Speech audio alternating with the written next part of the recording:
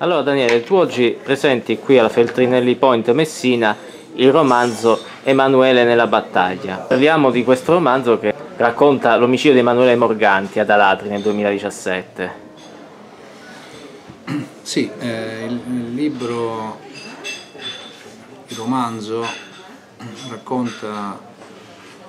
la vicenda della famiglia Morganti che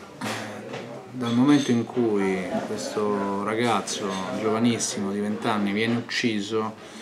precipita in una situazione diciamo, che ha dell'incredibile. Prima eh, ovviamente ehm, travolta dal dolore, poi sballottata dai media, infine all'improvviso uh, piomba nella solitudine più assoluta perché nel momento in cui eh, il fatto non fa più notizia eh, cala un buio assoluto sulla vicenda di Emanuele. Per alcuni mesi, cioè tutti i mesi poi che coincidono con eh, le indagini fino all'udienza preliminare e io racconto tutto quel momento, racconto quel momento lì, eh, quello che succede nella loro comunità e la, le reazioni che loro hanno eh, nel tentativo di fare luce sulla uccisione di, di Emanuele. So che è una storia che ti tocca personalmente perché tu conoscevi questo ragazzo. Sì, io conoscevo Emanuele fin da ragazzino perché con suo padre venivano a caccia in una zona della provincia di Rieti che è nel comprensorio di Collegiove, che è il paese dove mia madre possiede un bar e dove io sono cresciuto. Quindi conoscevo sia il padre che Emanuele e quando ho saputo della morte di Emanuele ero qui in Sicilia ero a Palermo al funerale di mio suocero che è, un, è stato un grande giornalista siciliano, Giuseppe Quadriglio. E, ne, dal momento in cui eh, ho saputo attraverso i giornali, appunto attraverso l'home page di Repubblica della, della morte di Emanuele, ehm, io ho cominciato a, come posso dire, ho cominciato a, a non solo a interrogarmi su come mai eh, a un ragazzo così mite, eh, assolutamente eh, bonario, una persona semplice, un ragazzo semplice, fosse caduto addosso una cosa di, di, di questa dimensione, ma anche sul perché eh, la società intorno ha avuto delle reazioni che, che sono delle reazioni molto discutibili eh, che hanno eh, messo in grande difficoltà la famiglia. A queste reazioni, per esempio, a queste, a queste modalità, di, a questi comportamenti eh, che io reputo assolutamente incredibili, come per esempio eh, la sera dell'omicidio di Emanuele eh, aver vissuto quasi come degli spettatori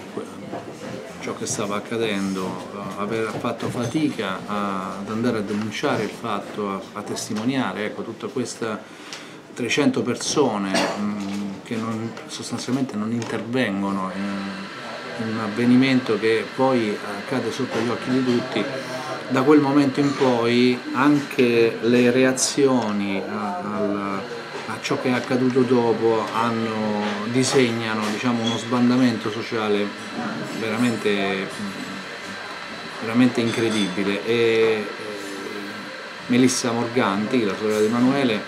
inizia un'indagine e attraverso l'indagine di Melissa entriamo dentro queste contraddizioni. E queste contraddizioni sono in qualche modo, eh, sono in qualche modo legate semplicemente al nostro stile di vita contemporaneo. Stile di vita approntato al, dire, al disimpegno nel senso più brutto del termine sicuramente, dire, al, al trascurare cose importanti come l'omicidio di un ragazzo che rimane senza motivi, senza movente. Se fosse solo il disimpegno potremmo stare un po' più tranquilli, diciamo. il problema è che tra persone che hanno tentato di sfruttare l'avvenimento per i propri fini, persone che hanno contrastato le indagini, persone che hanno messo in difficoltà la famiglia eh, cercando di eh, intercettare le attività che la famiglia compiva in, quei, in quel periodo per eh, scoprire che cosa era accaduto. E persone che ehm, anche molto vicine, molto care, che improvvisamente diventano testimoni inattendibili, ecco, tutte queste cose ci interpellano, ci chiamano, ci chiamano diciamo, in causa, perché riguardano anche noi, perché a posto di Emanuele poteva esserci chiunque di noi. Esatto. E come mai hai deciso di raccontarlo attraverso un libro piuttosto che attraverso un film o un documentario? Perché ricordiamo che tu sei un regista sia di documentari che di film di finzione, sempre all'insegna dell'impegno sociale. Ma perché a un certo punto mi sono reso conto che se io avessi utilizzato gli stessi strumenti, per esempio la videocamera, questa videocamera che stai utilizzando tu con me, ma io in questo momento sto parlando del mio lavoro, sì è vero che sto parlando un po' anche di me stesso, ma soprattutto del mio lavoro e quindi non mi sento invaso dalla tua dalla tua videocamera, ma se eh, io avessi portato una videocamera come questa dentro la casa dei Morganti avrei falsato completamente il rapporto che invece eh, è stato basato su una totale orizzontalità, su un'accettazione reciproca. Eh, avrei forse anche involontariamente mh, eh, alterato il, il processo di compenetrazione reciproca, non sarei stato in grado di cogliere delle sfumature non tanto nelle cose, nelle espressioni delle persone che, che, che, avrei incontrato, ma nella situazione in quanto tale. La scrittura, ha reso, ha, la scrittura è uno strumento potentissimo che permette di tenere sempre insieme il contesto con il particolare, quella situazione particolare che in qualche modo si sta descrivendo. E poi la scrittura permette delle grandissime fughe, dei paralleli improvvisi, delle, delle analisi, una forma di narrazione molto intima e profonda, ecco, questa versatilità e questa soprattutto non invadenza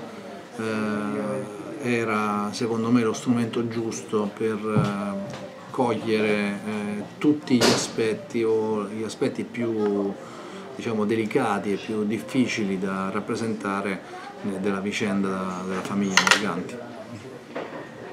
Come dicevo, tu sei un regista che è molto impegnato nel sociale, sia i tuoi documentari, tu parti proprio come documentarista, sia i tuoi film di finzione, affrontano degli argomenti molto attuali e anche spinosi. Quando è stato il momento in cui tu hai deciso di usare il cinema proprio per raccontare la realtà, raccontare certi, certi argomenti?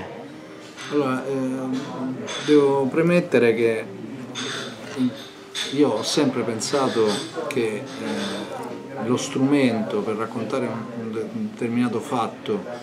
realmente accaduto o un determinato fatto che sta realmente accadendo di fronte a te eh, lo strumento de debba essere opportuno, non è necessario che sia specificatamente una cosa o l'altra, la videocamera, la penna, eh, la macchina fotografica o il pennello. Il problema è, è, è, è l'atteggiamento che noi abbiamo nei confronti di, di, questa cosa che accade, che sta accadendo o che è accaduta. Quindi eh, eh se di fronte a un fatto noi rimaniamo totalmente indifferenti, questo accade sia se abbiamo in mano una videocamera, sia se abbiamo in mano una penna, sia se non abbiamo in mano assolutamente nulla. E, e, quindi appunto è il nostro atteggiamento ciò che prevale. E in alcuni casi, eh, per esempio so, la vicenda dell'arrivo della nave Vlora a Bari eh, nel 1991, eh, in quel caso io ho avuto il privilegio di trovare in maniera così insperata centinaia e centinaia di ore di riprese effettuate da operatori di tutta Italia che andarono quel giorno eh, nel porto di Bari per riprendere questo evento straordinario. E non solo, si fermarono per 8-9 giorni a Bari e raccontarono con la loro videocamera tutto quello che era accaduto Per cui a me mancava solamente una cosa, mancava la testimonianza diretta delle persone che avevano, erano state coinvolte in questo avvenimento. Ecco, lì il mio atteggiamento è quello conoscitivo, cioè io voglio conoscere ciò che è accaduto molti anni prima che sto realizzando questo film. No? Eh, io, la nave dolce, parlo della nave dolce, è stato realizzato nel 2012, l'arrivo della, della, nave Blora risale al 1991, eh, il tempo che intercorre tra l'avvenimento e il momento in cui realizzo il film è un tempo nel quale la nostra società cambia profondamente, quindi io con questo film voglio anche raccontare come e perché e fino a che punto noi siamo cambiati così radicalmente. Ecco, quindi il, il,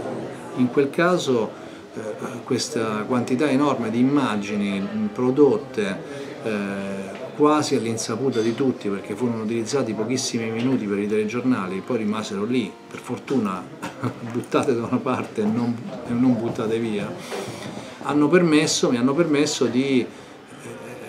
raccontare quell'avvenimento in maniera complessa, completa ed è stato un po' come mandare indietro nel tempo una troupe eh, a riprendere con la macchina del tempo quell'avvenimento lì. Ecco, l'atteggiamento in quel caso dicevo è un atteggiamento conoscitivo. Nel caso del, del libro che ho scritto di Emanuele nella battaglia, l'atteggiamento è, è, molto influenzato dalla, dal coinvolgimento. Io mi sono sentito coinvolto in questa storia, un po' come molti altri amici, persone conoscenti hanno portato dei fiori a Emanuele, io ho deciso di raccontare la sua storia e soprattutto quella della sua famiglia. C'è un tuo film che è stato anche pluripremiato, che è Sole Cuore Amore, dove tu con la finzione hai raccontato veramente uno spaccato di realtà che riguarda la gente che vive la crisi. Si vede proprio nel personaggio della nostra Isabella Aragonese questo. Sì, mi fa un po' sorridere questa domanda, ma non per la domanda in sé, tanto perché quando fu presentato per la prima volta il film alla festa di Roma ci fu qualcuno che scrisse che non è possibile che in Italia ci sia gente che guadagna 700 euro al mese e io mi trovai a ironizzare su questa cosa, dico forse voi non conoscete il nostro paese, cioè, anzi in alcune zone del paese guadagnare 700 euro al mese è una grande fortuna. Eh, quando, quando, feci il film, quando presentai il, il film in pubblico non era ancora non era ancora presente nel dibattito politico la questione della povertà in Italia, no? il fatto che in Italia ci sono 5 milioni di persone che vivono sotto la soglia di povertà non era ancora entrato pienamente nel dibattito pubblico perché non era ancora al centro diciamo, dell'interesse della politica. Poi qualche mese dopo eh, è venuto fuori questo tema in tutta la sua drammaticità e il fatto che il film sia uscito in ritardo proprio durante questo dibattito lo ha fatto sembrare un film quasi pensato per quel momento lì. In realtà la, la povertà in Italia è un, è un fenomeno endemico, eh, soprattutto nel centro-sud, nel nostro centro-sud, cioè noi continuiamo a vivere una condizione di scarso sviluppo e di mancanza di prospettive, soprattutto per i giovani, però facciamo finta di niente, facciamo finta di niente quando i nostri giovani sono costretti ad emigrare nel nord Italia ma anche e soprattutto all'estero e, e, spesso sono le persone, i ragazzi che hanno studiato che, che vanno via e quindi questa, questo flusso impoverisce ancora di più il nostro territorio. Se un regista, un narratore non vede questi fenomeni, diciamo un fotogramma prima del, del sociologo, eh, può anche cambiare mestiere secondo me. Ringrazio Daniele. Grazie, Grazie. a te.